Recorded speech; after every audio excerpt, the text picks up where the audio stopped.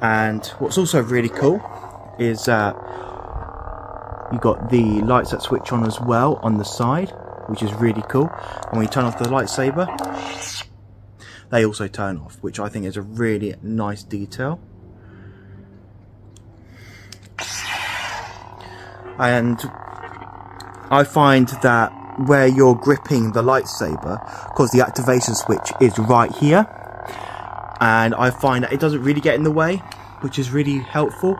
And if you, uh, you just want to do like a, uh, a block or anything like that, you could just press down.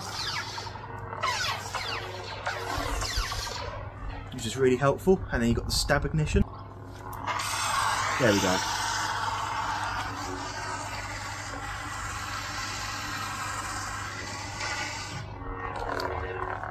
So I think that is really quite cool.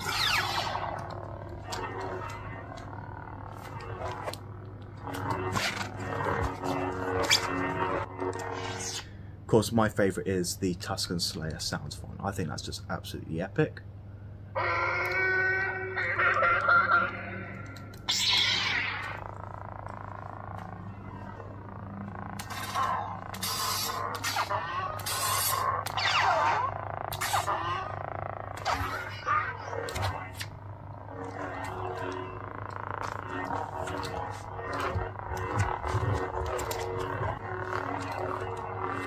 Thank